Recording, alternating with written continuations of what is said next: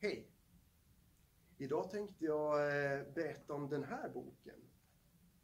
Annonsen av Gull Åkerblom. Och den här boken den handlar om Anna. Hon ska snart fylla 50 år. Hon är alltså några år äldre än vad jag är. Anna känner sig ensam sedan hon har fått sluta på sitt jobb. Men hon vill inte bli firad på sin födelsedag.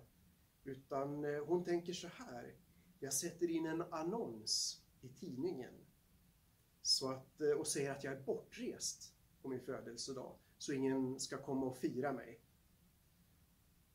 Och gissa då vart hon åker. Och gissa vilka hon träffar.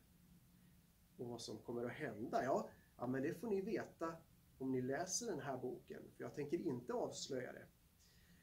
Så att eh, det jag kan säga om boken är att den är lite sorglig sådär i mitten.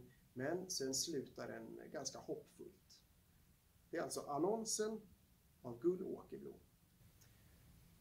Boken finns både som vanlig bok och som e-bok.